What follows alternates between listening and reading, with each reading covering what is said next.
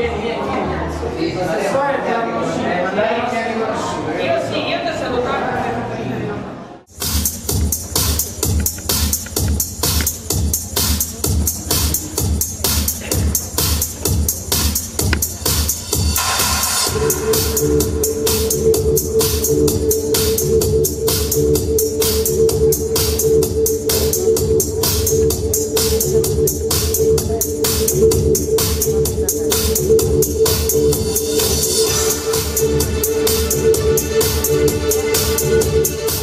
Regina Schreger al secondo notturno delle Muse, un nome prestigioso della moda internazionale, nasce modella, stilista affermata in tutto il mondo, a Reggio Calabria è un personaggio che veramente arricchisce eh, quelli che sono non solo i premi Muse, ma arricchisce anche la conoscenza eh, di quelli che sono dei personaggi che hanno arricchito anche la stessa storia della creatività italiana, anche se lei si definisce una Mittel europea. Vabbè, ma comunque sì, sono molto italiana. Cioè ci tengo parecchio, molto moltissimo. Io mm, le volevo chiedere, come nasce il personaggio di Regina Schrecker?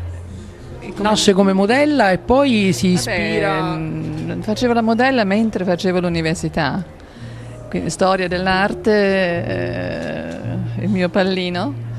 E poi sono stata scoperta, tipicamente come no? Ho girato tutto il mondo, e... però non mi piaceva tanto il, l'ambiente e volevo fare qualcosa di più importante, di più qualcosa che rimanesse. Ai e... giovani creativi che cosa potrebbe consigliare alle telecamere di Merito TV? Beh, avere molta molta voglia di fare, inseguire i suoi sogni perché i sogni sono molto importanti, specialmente per i giovani aspettarsi anche delle difficoltà e non uh, andare avanti comunque.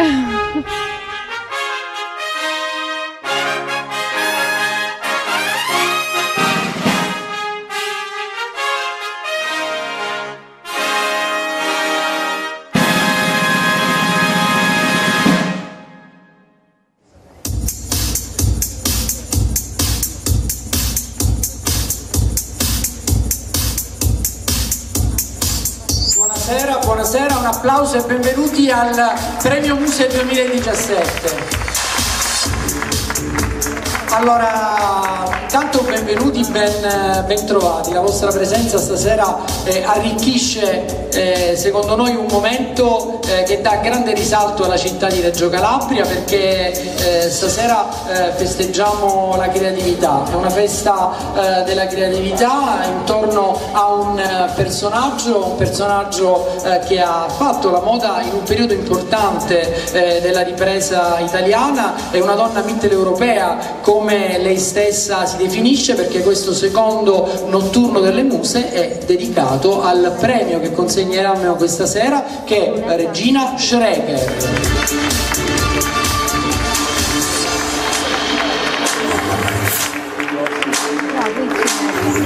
Chiamo accanto a me la vicepresidente dell'Associazione Culturale Le Muse, la professoressa Teresa Polimeni Cordova.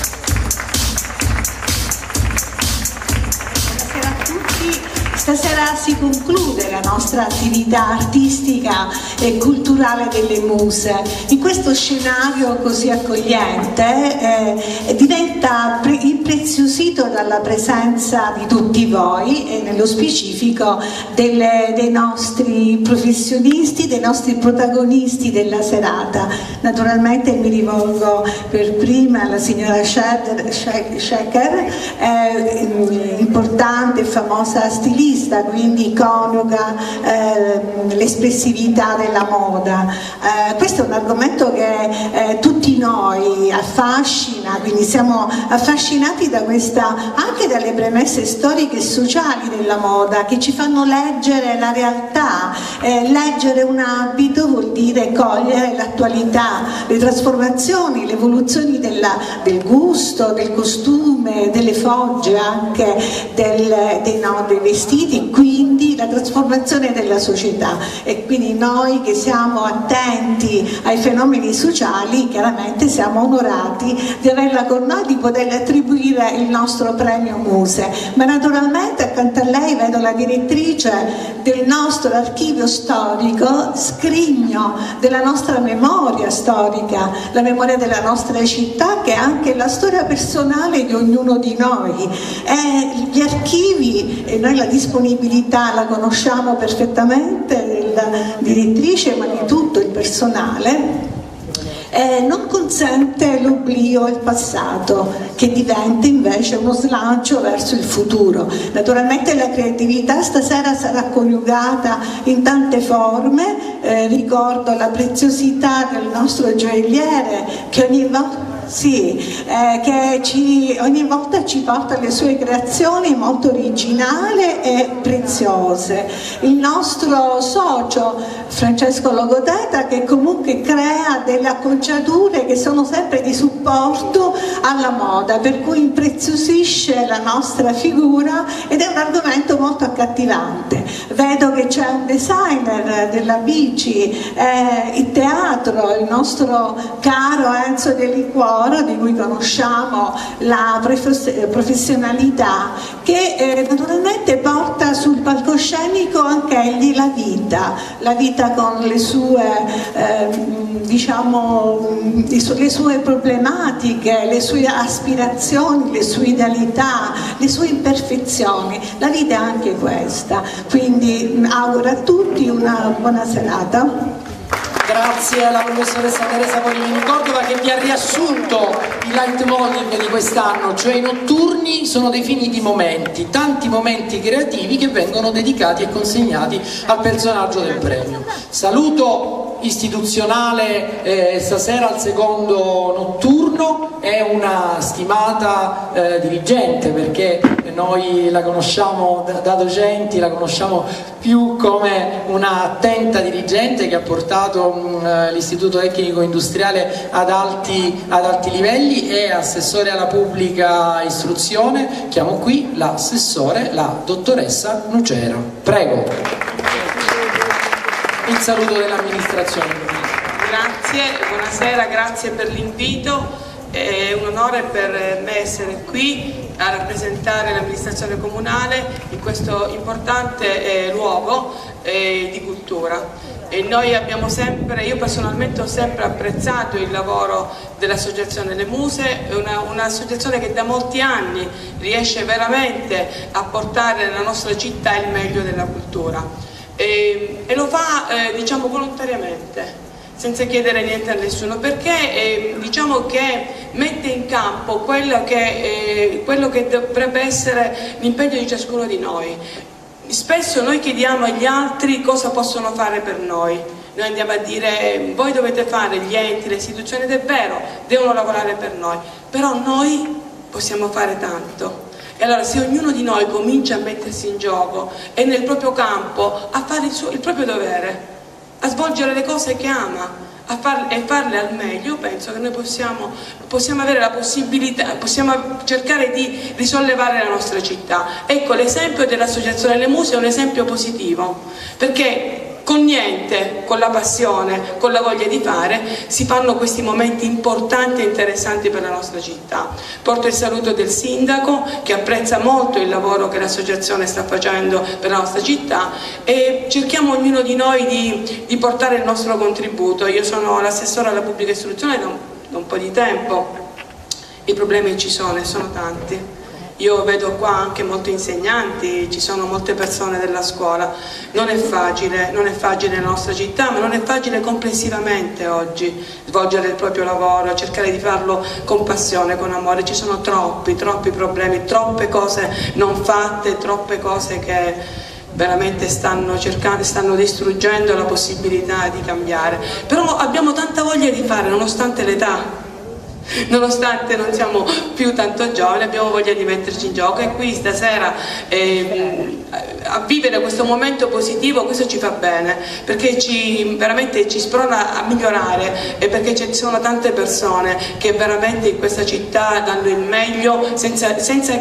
pretendere nulla. E quindi per questo noi ci mettiamo in gioco e cerchiamo di, di migliorare la nostra vita, la vita, la vita dei nostri figli, la vita della nostra città perché forse è possibile cambiare, sì, ce la possiamo fare. Grazie. Grazie. Grazie.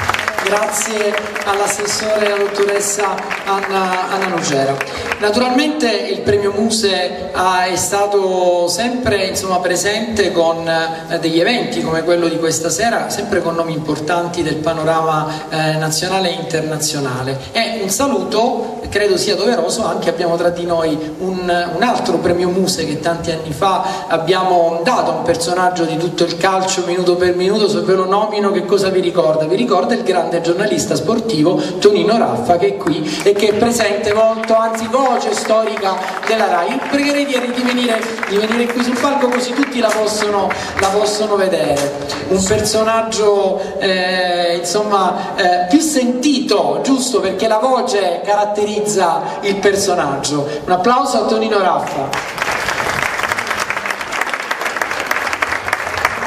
Beh, il professore mi coglie di sorpresa e io posso soltanto dirvi buonasera e aggiungere che siamo tutti compiaciuti per questa attività che fa questo sodalizio che come sottolineava l'assessore Nucera eh, fa tanto volontariato nel campo culturale. È quello che ha bisogno questa città per risollevarsi, perché se abbandoniamo la cultura non si costruisce niente. E devo dire con rammarico che c'è anche una caduta secca qualitativa nel giornalismo di questa città purtroppo. Io mi scolo ogni volta che parlo, che parlo con gli amministratori Dico, in tante città agganciate alle università si fanno le scuole di giornalismo perché sono quelle che formano ormai le nuove generazioni. Se si affida tutto all'improvvisazione, qualche volta i risultati sono deludenti e se ce n'è qualcuno bravo è perché solo il cielo ce l'ha regalato ed è stato per caso, mentre anche nel giornalismo ci vorrebbe una scuola di qualificazione perché altrimenti non si arriva da nessuna parte. Una sana informazione nei paesi dove la democrazia è forte, il giornalismo è un pilastro della democrazia, perché consente al cittadino di partecipare alla vita delle pubbliche istituzioni e di dire la propria per correggere le tante storture. Non è il caso delle muse perché di storture qui non ne vediamo, vediamo soltanto un'attività meritoria che merita sicuramente il nostro applauso. Grazie. Grazie dottore, dottore Raffa. E la cultura si incontra, la cultura unisce e la cultura è fatta anche eh, di personalità eh, che nel momento in cui occorre interagire dicono un sì perché ci credono. La, la, la novità di questi notturni, eh, stasera la facciamo anche vedere qui alla nostra eh, signora eh, Regina Schreger, è una realtà fatta di giovani delle scuole che sono veramente attori che creano a volte sperimentazione e questa sperimentazione ha, a volte ha bisogno di un collante. Questo collante, in questo caso, si chiama Enzo De Liguoro, un regista, un attore che ha fatto eh, dell'esercitazione teatrale una ragione di vita, posso dirlo caro Enzo, perché naturalmente i suoi ragazzi vivono, vivono in lui e lui vive per loro. Sono state per due sere qui a provare in questo palcoscenico ritrovato perché è tutto ricostruito all'interno di questo cortile. E Enzo De Liguoro ci farà ricordare tra poco un moderno canto delle sirene, ma attenti perché in questo moderno canto delle sirene ci sta un po' un agrodolce, ci sta un po' il messaggio che verrà convogliato dai nostri ragazzi. Parliamo dei ragazzi del laboratorio Sole Luna del centro studi Quasimodo diretto da Enzo De Liguoro. Sono i ragazzi della scuola Convitto di Reggio Calabria di liceo artistico Mattia Preti uniti insieme per questo momento di sperimentazione teatrale. Buona visione!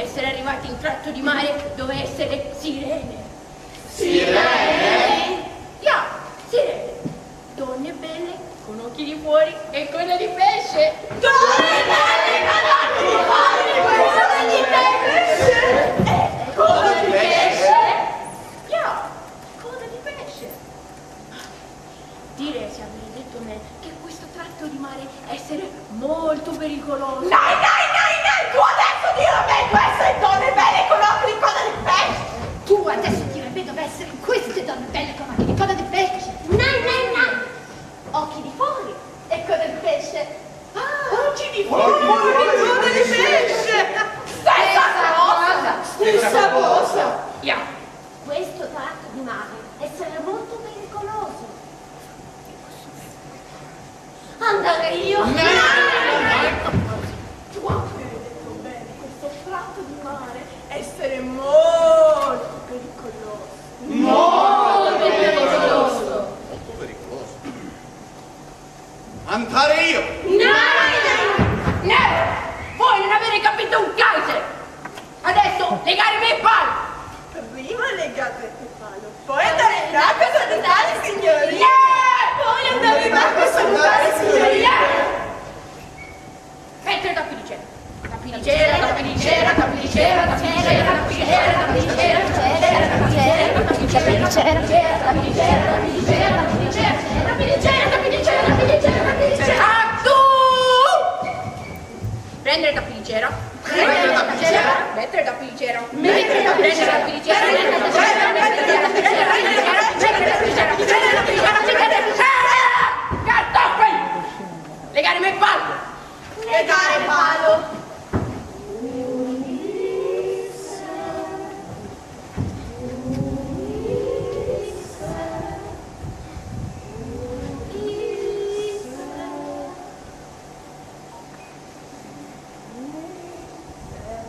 Guardami. Guardami. Tu che sembri un essere umano come me, guarda. Guarda le mie sorelle. Le hai viste le nostre bambine? Sono sporche. Sono malate. Hanno gli occhi fissi nel vuoto come quelli dei vecchi. Guardami. È vero.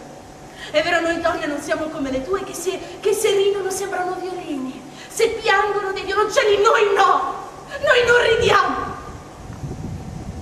Noi siamo vittime. Ehi tu, uomo, uomo hai finito. Hai finito di farmi male. Hai finito di dire che mi ami. Hai finito di prendere. Mi fai male. E io continuo a dirlo, continuo a dirlo fuori che mi ami, che, che mi vuoi bene. Impara ad ascoltare il silenzio dei violini e l'agonia dei violoncelli, tu che sembri un essere umano come me. Non girarla, non girare la faccia per non vedere, guardami. Guardami. Perché io non ti appartengo, io non sono una proprietà, tu non urli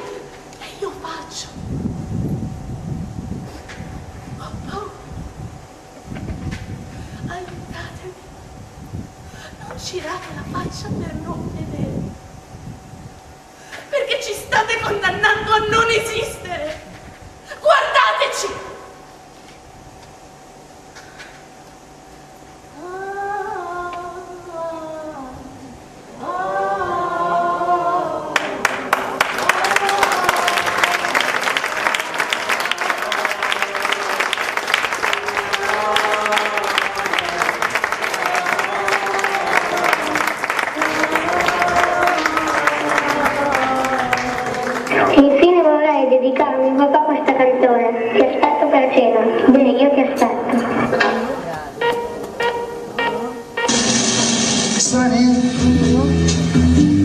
Yesterday my life was filled with rain. Sunny. You smiled at me and really eased questi erano i ragazzi del laboratorio Sole Luna del centro studi Quasimodo, un applauso. Ecco qui ragazzi accompagnati dall'instancabile regista Enzo De Liguoro, vieni Enzo, un applauso ai ragazzi.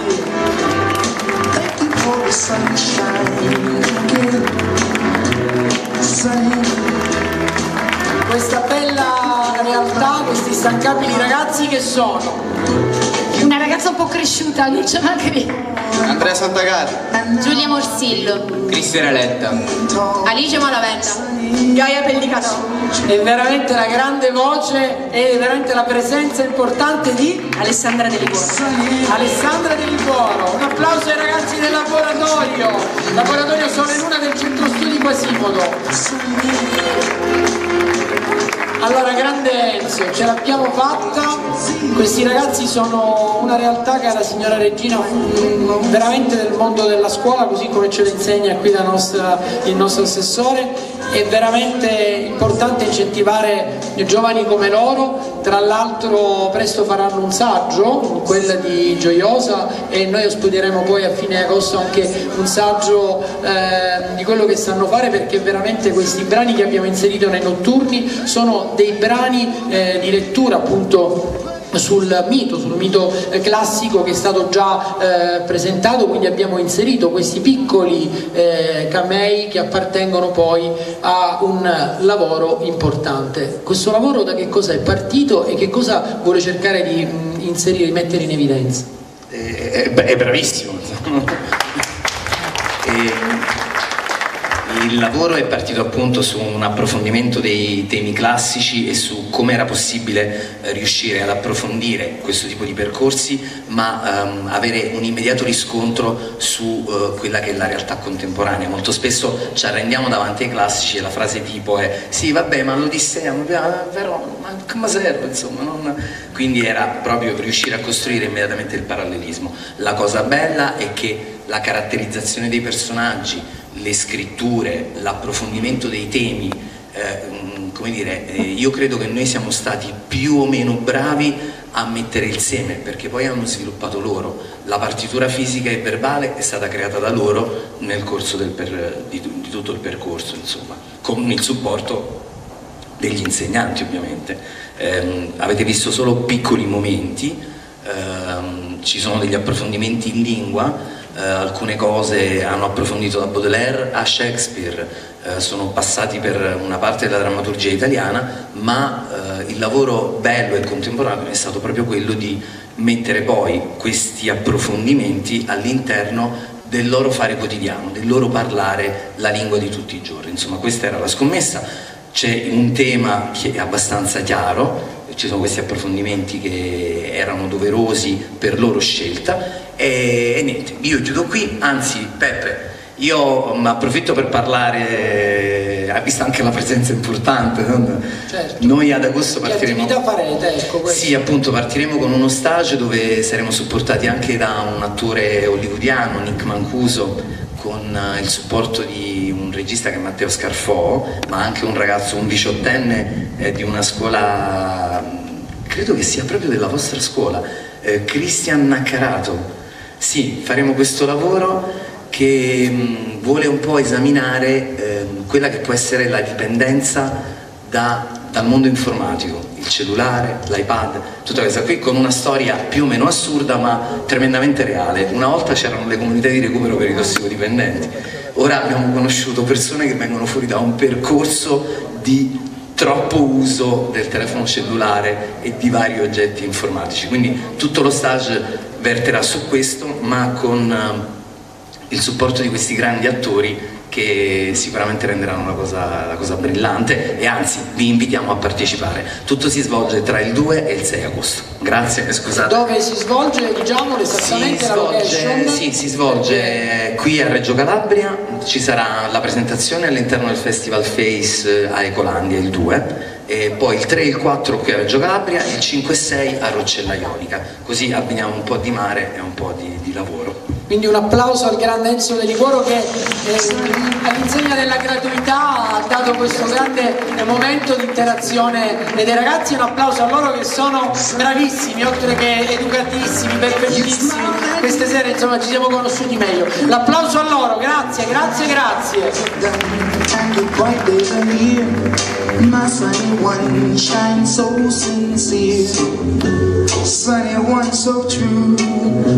Allora, eh, alle muse insomma gente che va, gente che viene, ma ci sono degli amici, delle amiche che lasciano sempre un segno delle amiche che hanno anche dei ruoli importanti all'interno della, della città, che sono eh, autorevoli e noi rispettiamo la loro autorevolezza, però poi l'amicizia supera, eh, supera tutto. E a Reggio c'è una eh, signora che io stimo non molto ma moltissimo per eh, il senso dell'accoglienza, perché è una grande eh, donna di intelligenza, sa comunicare quello che fa e veramente ha dato anche uno scossone a quello che è il gusto e il sapore delle carte.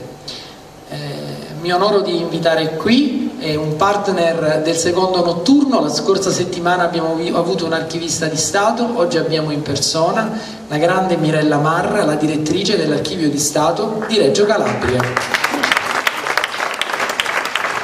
Buonasera. Mirella è un riferimento per tutti noi, senza la dottoressa Marra noi associazioni non potremmo approfondire determinati argomenti, quando abbiamo bisogno di qualcosa eh, la si chiama e si chiede eh, un'eventuale informazione, lei è sempre disponibile, quando noi la contattiamo prima risponde l'amica Mirella, poi naturalmente cede il passo naturalmente a quello che è il ruolo istituzionale. Torniamo all'istituzione, torniamo alla seconda cartolina illustrata perché questo è il momento che dedichiamo alla città di Reggio Calabria. Do il testimone alla dottoressa Mirella Marra, prego. Grazie. Eh, beh, tocca anche a me ringraziare il Presidente delle Muse e tutta quanta l'associazione, ma questo per te splendido è che mi onoro ora di così a cui offro una chicca della nostra storia. E, ehm, abbiamo lavorato moltissimo con l'associazione Le, Muse, abbiamo lavorato perché eh, per conoscere la città e per tutelarla bisogna approfondire quella che è la storia della nostra città.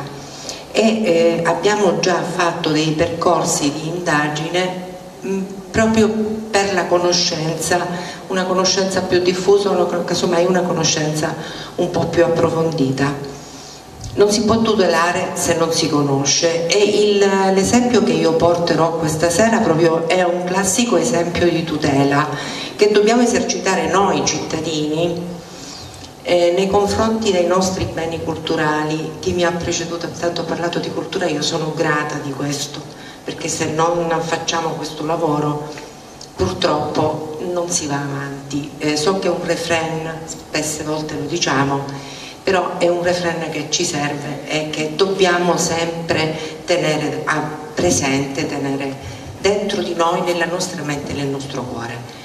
E, ehm, io eh, vi chiedo di venire con me, di fare un passo indietro di un paio di secoli.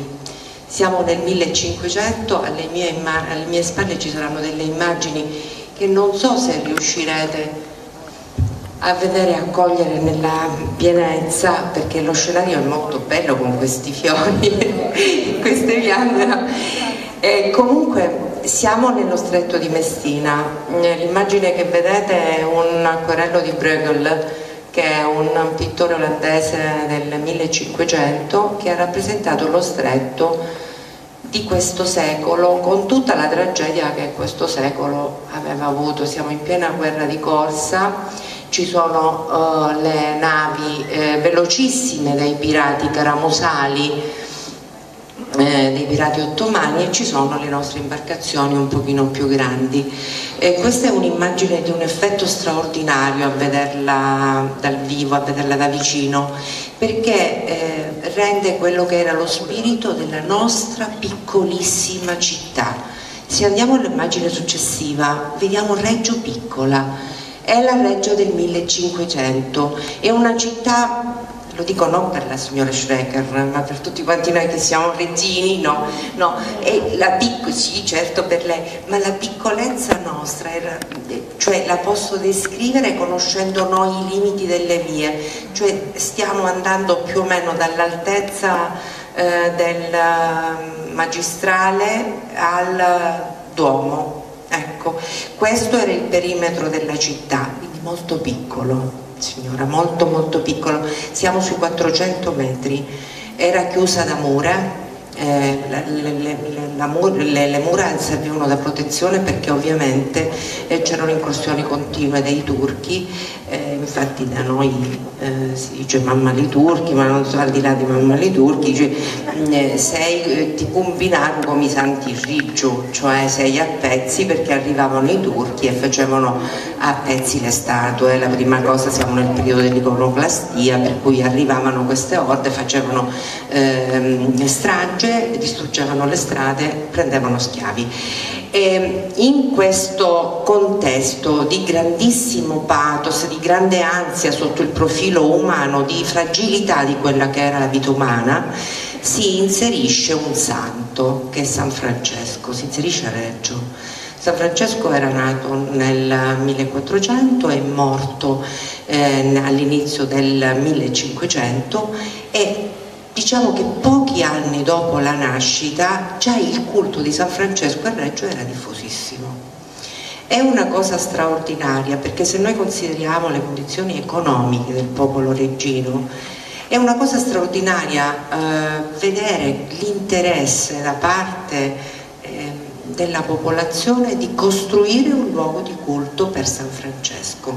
San Francesco aveva già avuto una notorietà europea per il 1500, è una cosa straordinaria questa perché lui era stato a corte di Francia, era stato chiamato in Francia e mm, le comunicazioni erano diverse, eppure a Reggio era arrivata questa grande fama di questo santo e il desiderio di costruire un luogo per lui all'interno della città. Questo luogo lo vediamo, è proprio esteriormente è indicato con la lettera H, è esteriormente all'argine calopinace. Il calopinace era un fiume insidioso per i reggini perché non aveva argini, esondava periodicamente, ehm, faceva ehm, razzia di bestiame e di coltivazioni, le coltivazioni distruggeva. Quindi eh, mentre il fiume, l'acqua in genere è considerato come un bene primario, un bene che porta ricchezza, il calopinaggio in quel periodo era un bene che portava grandissimo disagio e i monaci di San Francesco decidono di eh, fare lì, costruire lì proprio nell'argine, lungo l'argine, questo convento per dare sollievo ai, alla popolazione. In realtà è un convento che ha beneficiato anche ehm, di tanto denaro che è stato dato dai nobili reggini perché accanto al convento venne costruita una chiesa ed era interesse delle famiglie nobili che avere delle cappelle gentilizie nelle lavate laterali per le sepolture. Se noi consideriamo che i nostri cimiteri, solo sotto il profilo legislativo, sono venuti fuori nel 1809, eh, quindi siamo nel 500, non c'era sepoltura ancora in un luogo istituzionale, diciamo, e erano le chiese che accoglievano. Quindi questo convento con la chiesa cominciò ad accogliere otto cappelle gentilizie e eh, la gente, eh, i nobili di Reggio, quelli che appartenevano appunto al ceto della nobiltà, eh, si prodigarono a, per abbellire la chiesa, per renderla più accogliente, per renderla più bella comunque ci avviciniamo al 600, abbiamo lasciato il 500, il 600, il 700, quindi l'arte comincia anche ad avere un sapore diverso eh, anche dentro le chiese anche da noi, fuori l'aveva già avuto, ma noi non abbiamo a Reggio grandi esempi di arte per quel che riguarda il 500. Questa chiesa invece accanto al convento di San Francesco ci regala un disegno assolutamente inedito che è il profilo, se andiamo avanti per piacere, andiamo avanti, questo è il convento con la chiesa di quella stessa pianta, andiamo avanti, possiamo andare avanti ancora per piacere, ecco, dunque quello è il profilo che si vede a destra dell'inizio del Seicento, un disegno di un architetto che ha disegnato in porfido rosso e nero ehm, la cappella della famiglia Napuccetta, che era una famiglia importante regina. L'altro documento che avete visto prima era un documento sempre del 600 ed è relativo alla famiglia Furnari, ce n'è anche un altro più avanti. Furnari eh, abitavano in questo territorio e avevano l'interesse essendo vicino il Calopinace, ad avere una cappella grande, importante dentro, dentro la chiesa. Quindi diciamo che questa chiesa anche nei confronti del nostro Duomo si eh, presenta devo dire con un certo orgoglio, con una certa sua dignità architettonica e pittorica, perché sappiamo che dentro c'erano delle statue, perché sappiamo che dentro erano stati fatti degli affreschi e gli atti notarili ci raccontano questo strano rapporto che esisteva tra la nobiltà e i conventuali. So, al suono di campane si riunivano, al suono di campanella, e decidevano che cosa accettare o meno da poter mettere dentro la chiesa. È strano, perché in genere un dono si accetta punto e basta, no? I monaci con oculatezza decidevano che cosa dovevano, potevano mettere dentro la chiesa. Se andiamo avanti vi faccio vedere, spero che si veda, andiamo avanti, uno stemma che è il primo stemma dei conventuali francescani. Eh, sì, è questo, c'è un particolare nella diapositiva successiva che ho una sorta di fiore, non si vede purtroppo, comunque è là dietro. Ehm, il primo, il primo, stemma dei conventuali non è quello di oggi e l'abbiamo trovato nelle nostre carte, eh, quello di oggi è eh, Caritas e invece l'originale è Deus Exaltat Humiles che è un pezzo ovviamente del Magnificat e mm, questo ci racconta anche sotto il profilo cultuale e religioso quali erano le radici del francescanesimo di, di, di, di San Francesco di Paola. Allora vado veloce perché capisco che il tempo eh, corre troppo in fretta. Eh, vi racconto di questo convento. Il convento praticamente resiste al terremoto del 1783 e anche la chiesa resiste con le sue bellezze siamo sempre lì, però che cosa avviene? Che lo Stato con, per risarcirsi dei danni del terremoto del 1783 ehm, requisisce i beni eh, dei conventi con meno di 12 unità. Questo convento viene requisito eh, la chiesa viene affidata a una congrega mentre il convento diventa carcere e diventa il teatro di tutta quella che fu la lotta politica regina del 1800 perché noi siamo stati un po' gli antesignani di quella che è stata la, la, la, la rivoluzione eh, dei popoli, la primavera dei popoli del 47-48, mm, Reggio è praticamente partita il 2 settembre. Bene, ehm, eh, il, terremoto di, il, terremoto del 1908 distruggerà il, il, convento in una sua parte, però la storia della Chiesa è tutta un'altra cosa. Il convento ancora oggi resiste ma la Chiesa non c'è più perché la Chiesa venne distrutta dai regini nel 1870, ricostruita dove ora la nuova chiesa, se andiamo avanti ve la faccio anche un po' vedere, questa è la pianta del convento diventato carcere, poi ci dovrebbe essere la chiesa.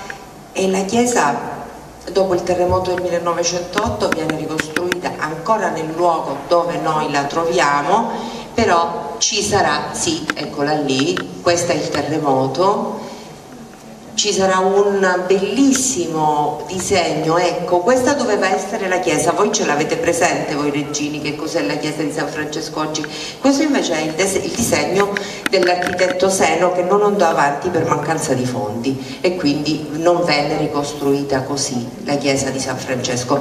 Ehm, ma torniamo al, a quello che dobbiamo conoscere e tutelare. Possiamo andare alle prossime immagini, questo è San Francesco, no, vorrei che andaste avanti andate avanti per piacere. Noi abbiamo in via Marsala un, uh, un palazzo, siamo arrivati, noi in via Marsala abbiamo questo palazzo che oggi è carcere minorile, che invece ah, è un pochino più antico, quasi coevo diciamo, dell'ultima parte del castello aragonese. Ma nessuno ne parla, nessuno dice niente, noi non lo sappiamo. Questo eh, potrebbe essere, eh, come devo dire, rinascere a quella che è la sua vita prima di convento, perché ha il chiostro interno, perché ha dei bellissimi contrafforti, perché ha una struttura muraria davvero possente, straordinariamente bella. Ecco, io ho voluto dedicarvi questa questo pezzettino di storia proprio per dire Reggio ha tante cose, molte cose non sono note, ma non per colpa nostra, non sono note perché gli eventi sono, hanno fatto tantissimo e quindi la nostra storia è cambiata, però se ogni tanto riscoprissimo quelli che sono gli angoli davvero antichi della nostra città, forse qualche tesoro in più ce l'avremmo. Io vi ringrazio.